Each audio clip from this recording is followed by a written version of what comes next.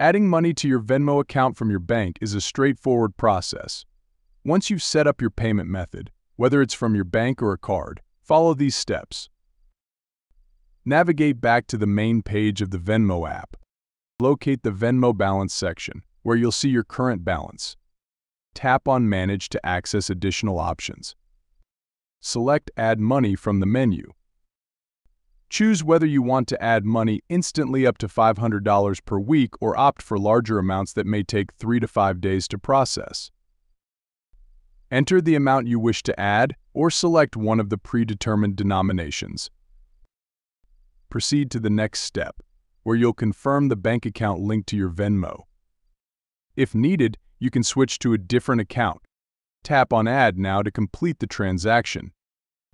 Once done, your Venmo balance will reflect the added amount, but keep in mind that it may take a few days for the money to be withdrawn from your bank account. Adding money to your Venmo account enables you to easily send payments to friends and family. For a guide on how to send money using Venmo, check out the linked video.